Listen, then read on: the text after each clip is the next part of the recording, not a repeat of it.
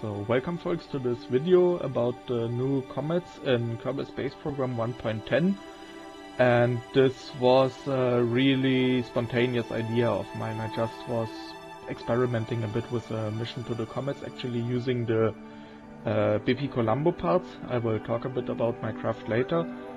And um, yeah, I was just experimenting of intercepting the comets and when I was approaching it for, for docking, I had the spontaneous idea to record, uh, to record what I was doing. So this footage is completely raw. I didn't edit anything in it except for adding this voiceover. So I'm not making a uh, not making let's play. I'm not talking while playing. I um, I'm talking later, like I do in almost all of my videos and also I edited, uh, edited this end screen but except for that this footage is completely raw so I will have to improvise some talking for uh, about 17 minutes.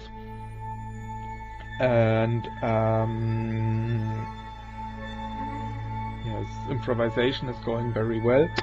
Um, so yeah this is the first video since two months three months something like that on my gaming channel and uh, a few people already have asked me what about my my career mode video series. And the reason that I have um, suspended making video or uploading videos is that my laptop is having um, is having increasingly technical problems and uh, yeah but I will I will talk about that later because of course in the beginning when most people still are watching they they want to know about this draft. They want to know about what I was doing. And this draft here is made of the Bepi-Colombo parts and the new um, advanced grabbing unit uh, Junior. And with this Bepi-Colombo parts or Bepi-Colombo of course they were intended to go to Moho like the real Bepi-Colombo was intended to go to or is going to, to Mercury it wasn't intended because the mission didn't fail. But what I just saw was this potential to have the um, the lower part. I don't even know what the the two control parts are called, but anyway, of the lower part with the xenon gas reserve and the four mounting points for this uh, Dawn ion engines, and then the upper part with the the normal liquid fuel engine that I saw this potential of using the um, the ion engines for the um, the interception, especially the adjusting of inclination, and then the trans comet. I don't know what you would call it, but anyway, to to intercept the comet, because you need this lots and lots of or this shit ton of delta V. And um, then again, for the the actual rendezvous, when you need a bit more thrust control and um, especially higher TWR to actually match your orbital velocity without having to burn your engine for 20 or 30 minutes. Um, I used this uh, the liquid fuel engine, so I just saw this potential of the two um, two control parts that can be stacked on top of each other and look really great. And um, so I used it here for this craft, and uh, it's, it's I think my my first attempt and what you can see is that I'm now increasing the, or I'm increasing the thrust on one of the four ion engines and activating the three other ones because I still had, um, was running only on one engine on 25% thrust, so this is um, 1 in 16 now about 6% of the, the full thrust that this probe can have which I was using before for making some very very fine adjustments in the um, in the interception to get the uh, CPA, the closest point of approach, to uh, I think it was five kilometers. And um, yeah, as you may have noticed if you watched the video at all, this isn't the launch, this isn't any of the interception because if you look in the top left corner, the mission is at uh, 15 years already, so this took a bit of a moment and like I say I had a spontaneous idea when I was approaching the comet and it wouldn't have been too interesting to to see what uh, what I was doing before with the interception anyway or what I'm doing now strictly speaking isn't interesting either because I'm slowly slowly approaching the the comet and I was I I just got really excited and hyped up when I saw the um, the tail, I think it is called in English, of the comet, which looks really nice from the distance, which sadly we now are not at anymore. We are really close and actually in the middle of the corona of the yeah corona 2020 wow in the middle of the corona of the the comet which um yeah is not where the um oh, it's not where now it's life because we have cut the ion engines and jettisoned the ion powered transfer stage. And instead used this uh, spark. No I think the spark engine was something else. Lee, Spider, no Spider or and something like that. This very very tiny uh, radial mounted engine for them to do the actual rendezvous and then the, the docking. And um, was I? Um, yes, exactly. This is not how the real um, Rosetta Comet mission landed on the Comet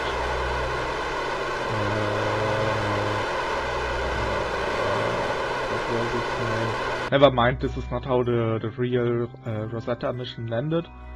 Because, of course, when you're still that close to the sun, you have this, uh, the comet um, sublimating and this cloud of, of gas, which is called the corona, and then forms the, tail. Uh, you still have all around you, so this isn't really the, the ideal conditions to, navigate spacecraft. But I've had to do it this way because for the reason of um, weight craft is only um, only powered by solar panels, which would be totally uh, useless. I, I the, uh, the Comet wouldn't have a Corona, so this this still needs to be improved. Maybe I will upload this this craft sooner or later to my Steam workshop you can find a lot of nice, uh, nice spacecrafts that you can download. I will link it in the description. And um, so now we are basically very, very slowly approaching the uh, the comet because uh, mostly because I somehow might have forgotten a bit about time warp. But this is the ideal um, um, ideal circumstances, ideal opportunity, that's the word I was looking for, the ideal opportunity to talk about the things that I mentioned before with my um, career mode videos about which some people already have asked me why I do not continue them and I uh, only have suspended them temporarily. I did not lose interest or something, but I'm just having the problem that my laptop seems to have a very serious technical problem and it was losing performance and then um, at some point even died completely where I then brought it to the um, to some um, some expert because I was uh, um, I was suspecting the the monitor cable but I wasn't sure. And he told me that it was a total wreck so I bought a new one. And then my total wrecked old laptop pulled the Jesus move and came back to life or more became a zombie instead of coming back to life and it would be total rubbish with this shit ton of mods that I use in my career mode videos. It would be constantly uh, um, lurking around at 1 FPS, 2 FPS but now without mods it still is going uh, is running fine. And what I think I also was about to say before I'm recording this right now while the Comet uh, Neowise is visible outside, which I was um, was observing, looking at, um, trying to take pictures last night and um, I was trying to take pictures or videos to do some to get a little bit of footage for my uh, my main channel, which I will link in the top right corner right now. Or if I ever get to something, uh, some footage of the comet that I actually can upload, I will just link that one instead. But um, yeah, I was was trying to take these videos, which did not go well partially because of the the fact that I live in the very far north of Germany, where even at one o'clock it isn't completely dark right now, or at 1 a.m. it is, isn't really uh, isn't completely dark, and also the comet not being very bright and being very close to the horizon, it was not very visible, and especially not visible enough to get some uh, some nice footage with my Nikon P900 camera. And um, so yeah, we are still approaching the comet at a snail's pace, or of course would be approaching the comet at a snail's pace because it is a reasonable thing to do. But like I already said, I completely forgot about time warp. So yeah, comets. Um, I guess most of you know, but they are like um, frozen space snowballs which come from the uh, the outermost parts of the solar system which actually leads me back to my career mode videos where I'm um, I'm playing with the Outer Planets mod. So this would be uh, become a bit um, yeah a bit ridiculous with the comets coming from somewhere between Jool and um, Sarnus, so somewhere be between Jupiter and Saturn, having their apoapsis, and um, maybe there is a way to alter their orbits. But of course, we also have the problem that um, the Outer Planets mod requires the Kopernicus mod in order to function, which now still is at version 1.8.1, which also was the version I was playing uh, my career mode videos on.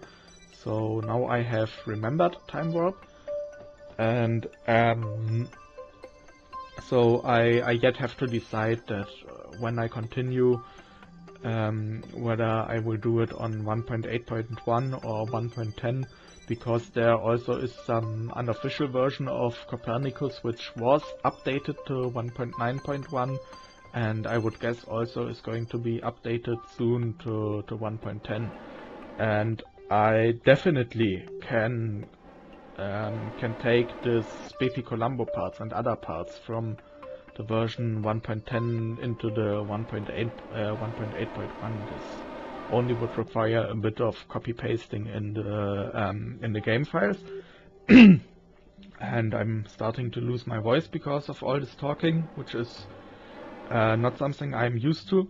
And I also realized that it isn't the best idea to dock to the um, oh yeah my voice that it isn't and now also my, my Lego Saturn V is, is falling over, of which you sooner or later will see a build video where I am explaining the real Saturn V on my main channel. But where was I? Now that we have the Lego uh, stabilized again. Um, yes, I realized that it isn't the best idea to, to dock to the dark side of the comet. So I um, changed my, my course a bit and then dock to the, the day side of the comet instead. And so yes, back to, to real comets. Like I say, they are these um, frozen space snowballs from the, the outermost parts of the solar system. And they are very interesting to scientists because of their um, highly eccentric and highly inclined orbits, which you may have seen before in the map view, which are totally different to the orbits of all the other planets because all the, the planets or all the planets formed from the um, um, basically asteroids that were orbiting the sun in a bit like a giant uh, giant rings which is the reason why all of them have about the same inclination and all have quite or have really circular orbits compared to comets, and because of uh, comets having this completely different orbit, we know that they are uh, they have nothing in common with what um, uh, the other planets were formed of. Which also is the reason for um, uh, yeah, as of now, from like uh, how to say now on the spot I can only tell Rosetta, but I think there were also some or are some other uh, missions of landing on comets going on right now. So yeah, we are now on the, the final approach at, I think it was 0.4 meters per second, going to um, the dock, to the, the comet. And we have done it. So, um, yeah, we can now uh, do some experiments, which uh, isn't um, I cannot see how, how much science points they reward because untypically for me I was doing this in um, uh, sandbox mode, but as far as I can see they all just read the same as if we were just orbiting high over the sun. So there wouldn't be much uh, much point in sending a probe, at least with the stock experiments, to a comet in, in career mode. I know that the Magic Orbital Sciences has some um, some asteroid mods and uh, asteroid experiments, and basically these comets behave like asteroids, only looking much, much, much better. But um, yeah, here you can see the the view that greeted me before when approaching the comet from the distance. But I'm I think now I was trying to, um, I was looking when the corona and uh, the tail of the comet is going to fade. And um, so yeah, talking about mods, I, I tried the Kerbal Comets mod before, which also has the same orbits like the, the comets here and um, instead of explaining something about it, there now is this badly concealed cut in the voiceover because I noticed that I forgot to add the end credits, which um, confused me a bit, but the video is over anyway. So if you have enjoyed the video, you can subscribe to my channel, which you can do in the top right corner. You can also check out my main channel, which I have linked before, and also is linked in the description. And in the top left corner, you can see my latest upload, and at the bottom, you can see the recommended videos, one being recommended by me, and the other one recommended by the YouTube algorithm.